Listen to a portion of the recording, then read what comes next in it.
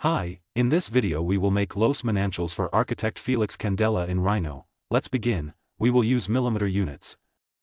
Enable ortho and O snap, top view. Polygon.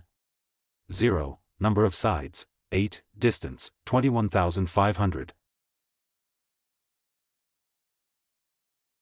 Polygon, 0, distance, 17,000, to mid of any curve. Area center for polygon. Perspective view. Move first polygon, distance, 12,000. Interpolated curve. Delete both polygons. Select curve. Array polar, select center point, number of items, 8, enter. Select all curves, join. Fillet corners, distance, 1000. Select center point, set point, set Z only, pick. Circle, distance, 2000. Circle, distance, 3000. Select both circles, move, distance, 6000. Loft, select in order. Enter, change style to loose. OK. Change view, shaded mode.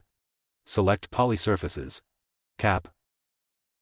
Offset surface, distance, 200, corner, sharp, solid, yes, tolerance, 5. Flip, enter. Circle. Top view. Distance, 32,000. Perspective view. Circle, distance, 42,000. Offset, distance, 2000. Offset, distance, 2000. Extrude curve, solid, no, distance, any length. Trim, select cutting object, select object to trim. Change layer. Extrude curve. Solid, yes, distance, 300.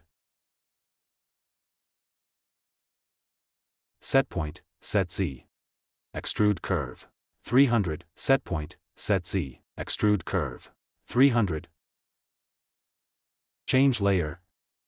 Select default layer, delete, select all, zoom select. Change view, render. Thanks for watching, see you in the next tutorial.